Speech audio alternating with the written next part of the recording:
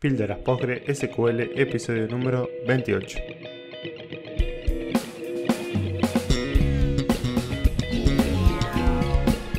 Hola, ¿cómo están? Buenos días y bienvenidos a nuestro nuevo episodio, el número 28 de nuestro podcast Píldoras Postgre SQL, un podcast donde desde Abatic Soluciones Tecnológicas los acercamos viernes por medio al fascinante mundo del software libre y en especial a nuestro gestor de base de datos favorito, PostgreSQL.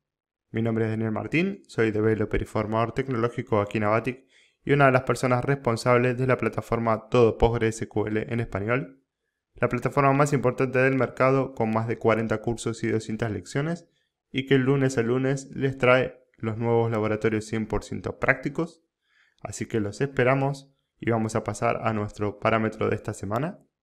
En este caso vamos a estar hablando del parámetro Maintenance Work Mem, es un parámetro que está dentro de la categoría Resource Usage, como los que estuvimos viendo últimamente.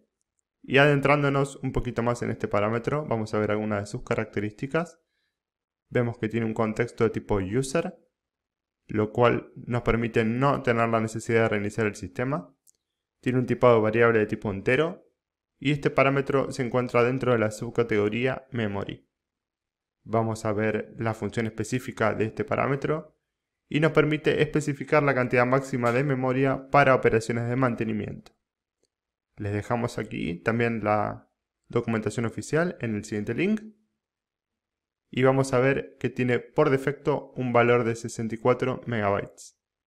Para comprobar este valor lo podemos hacer de dos maneras, a través del típico select, donde name es igual a maintenance-work-mem, y si no, a través del metacomando show, utilizando show espacio maintenance-work-mem.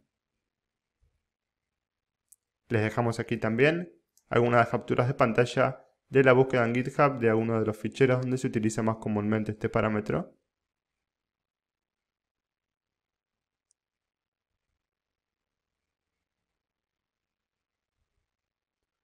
Y con esto terminamos el episodio de la fecha. Espero que hayan aprendido algo nuevo y como siempre los invitamos a acercarse a todo PostgreSQL, a descubrir este mundo del software libre y las bases de datos y si ya son suscriptores de nuestra plataforma recuerden que pueden ponerse en contacto con nosotros a través del correo, a través de nuestras redes sociales o a través de la intranet que está las 24 horas disponible para que se pongan en contacto con nuestros docentes por cualquier consulta, duda o incluso ideas para nuevos laboratorios que tengan a futuro.